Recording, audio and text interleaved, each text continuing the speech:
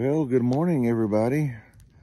Uh, beautiful day today. I was out in the yard doing a little work and I got a little fire started and I thought I would have a little fireside chat this morning.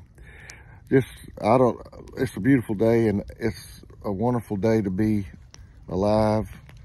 The Bible says to rejoice in the Lord and to, uh, this is a day the Lord has made, so let's all rejoice and be glad in it. You know, we need to enjoy every day and make most of the time we have for God. Uh, make most of the opportunities he gives us every day. Life is a vapor, James tells us. I'm starting to realize that more and more as I get older.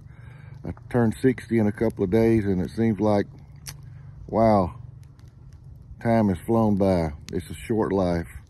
We don't have long to do the work we need to do for the Lord.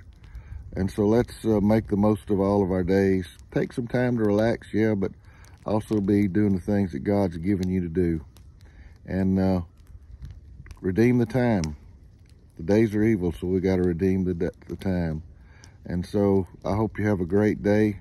Enjoy this beautiful day. Rejoice to the Lord. This is a day the Lord has made. So let's rejoice and be glad in it. Take the opportunities he gives you today. And I hope you have a great day.